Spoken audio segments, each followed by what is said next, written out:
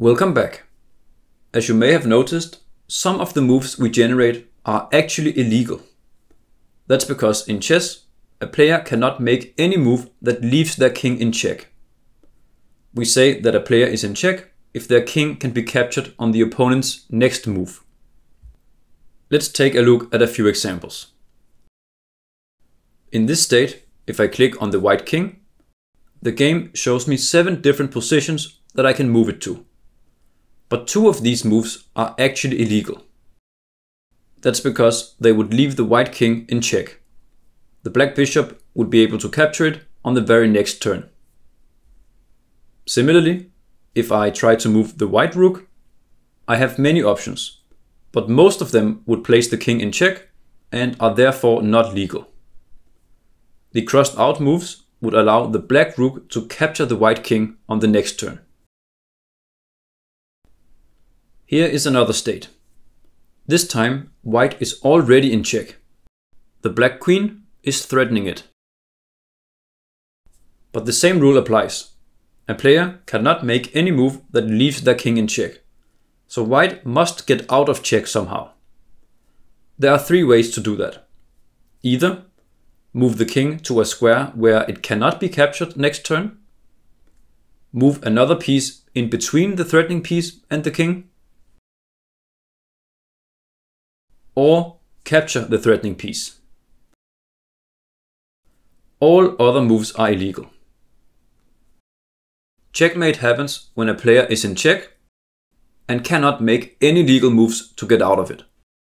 In this example, white is in checkmate and has lost the game. The plan for this video is to write code that can detect check and use it to filter out any illegal moves. Later, we will also use that code to handle checkmate and stalemate. Okay, let's begin by opening the piece class in the chess logic project.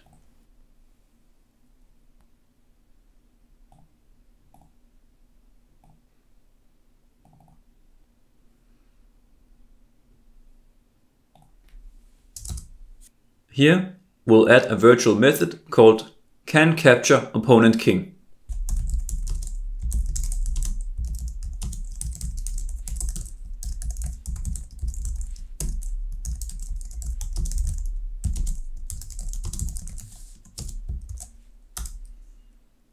it returns true if and only if this piece can capture the opponent's king.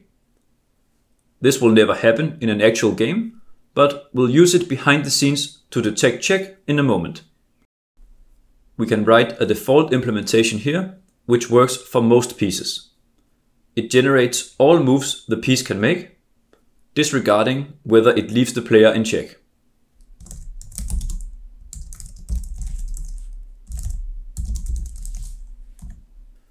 Then we check if any of these moves captures the opponent king.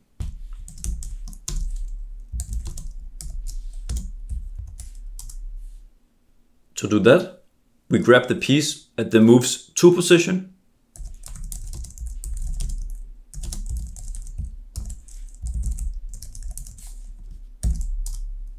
and check if it's a king.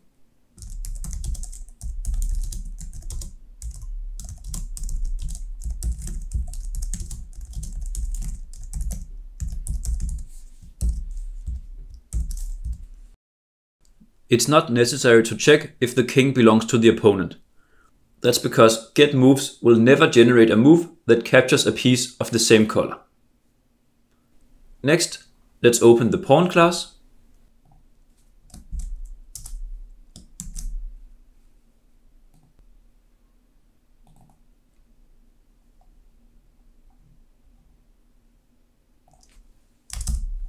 The default implementation of can capture opponent king would work for this piece.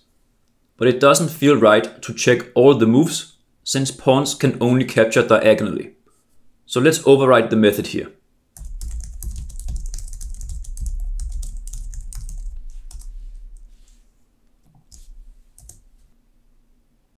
And check only if a diagonal move would capture the opponent's king.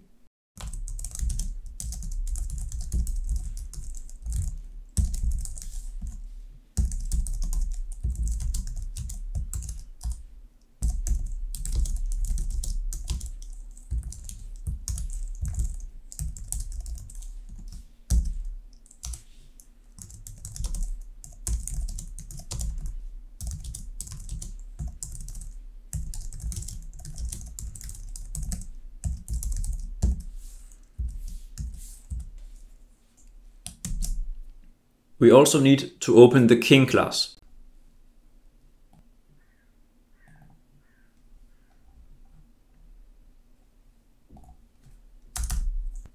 Here, I'm also going to override can capture opponent king.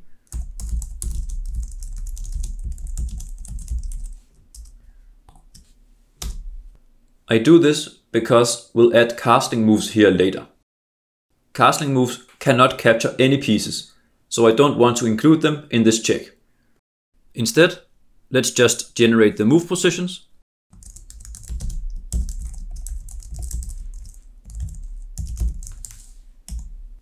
and check if the opponent's king is in any of them.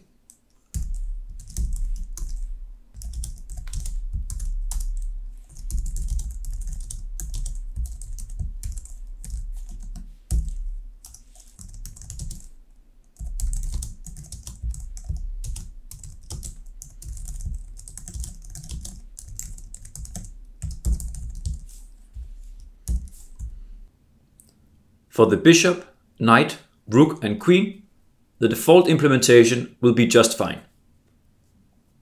Now we can write a method that detects if a player is in check. I think it makes sense to put it inside the board class.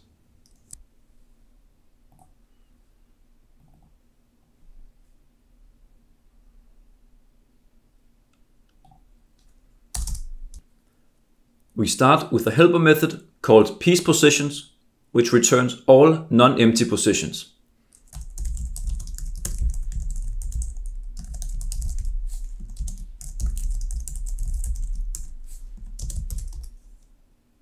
It loops through all positions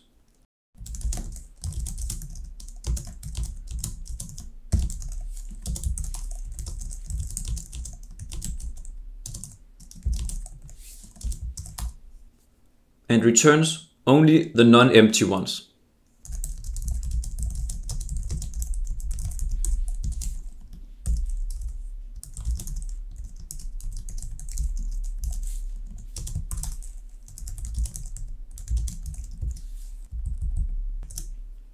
We also need a convenient way to get all positions containing a piece of a certain color.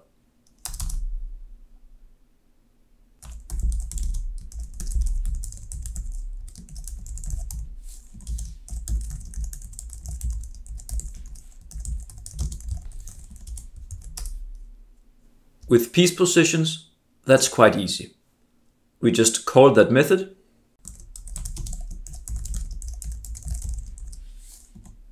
and use where to pick only the positions containing the right colored pieces.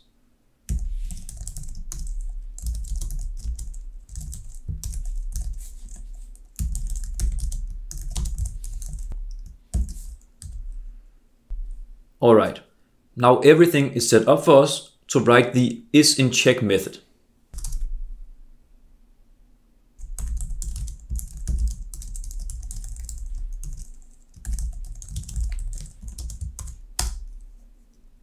It takes a player as parameter and returns true if and only if that player's king is in check.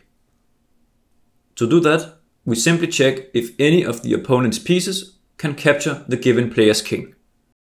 First, Let's get the positions of the opponent's pieces.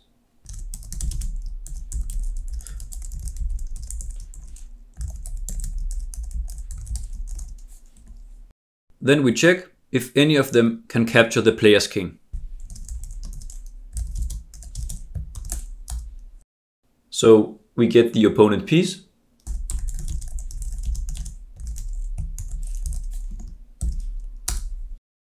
And then call its can capture opponent king method.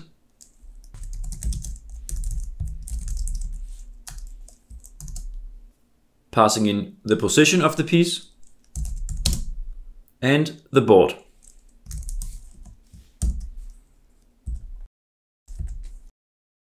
That's actually it. In the final part of this video, we'll use is in check to filter out any moves which leave the current player's king in check. To achieve this, we need a way to copy the board itself.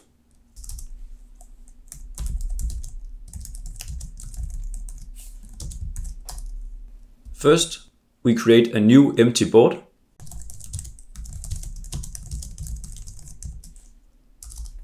Then we loop over all positions containing a piece.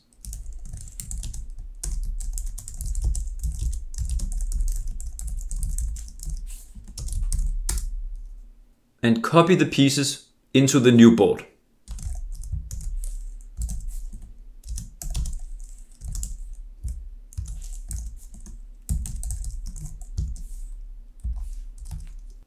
After the loop, we return the copy. Alright, now we have everything we need. So let's go ahead and open the move class.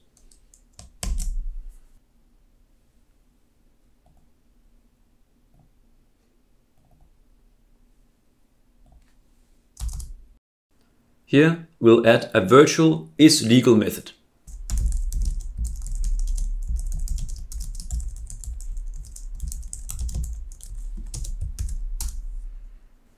it should return true if and only if executing this move does not leave the current player's king in check. But how can we tell if the move results in check when it's made? We can actually do that using only methods we have written already. Let me explain how. To find out if a move is legal, we make a copy of the board and execute the move on the copy. The move is legal if and only if the moving player's king is not in check after that. In this example, the white king is not in check because none of the black pieces are in position to capture it. Therefore, we can conclude that the given move is in fact legal. The copy of the board will never be shown to the players. It only exists behind the scenes for a split second. Alright, we only need four lines of code to implement this. First, we get the moving player by checking the color of the piece that will move.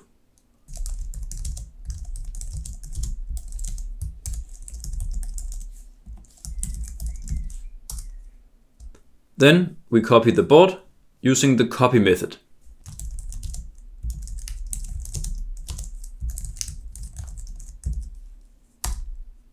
execute the move on the copy.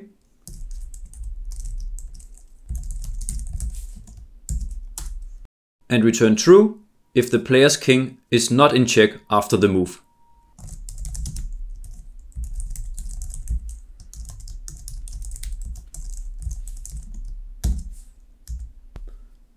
This code is simple and correct, but it's not the most efficient implementation. Don't worry, there won't be any sort of delay using this code. But if we decide to add computer controlled players, then it might be worth it to find a faster and more complicated solution. Why did I make this method virtual? This default implementation is perfect for the normal move, but when we add castling moves later, there are a few additional conditions we must check for. Alright, now there's only one thing left to do in the game state class, we locate the legal moves for piece method.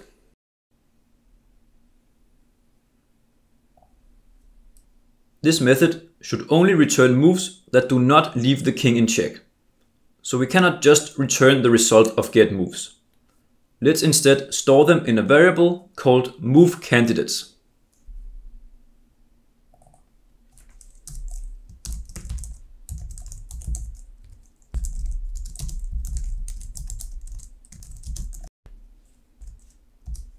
and only return the legal ones.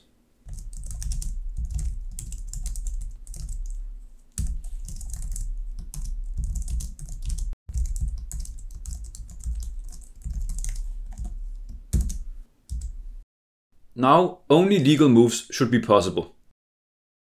Here's the state I showed you earlier, where white is already in check.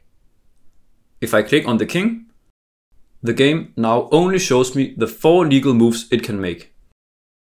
For the rook, the only legal move places it between the black queen and the white king. And for the knight, The only legal move captures the black queen. Awesome. In the next part, we'll detect when the game ends, either because of checkmate or stalemate. See you then.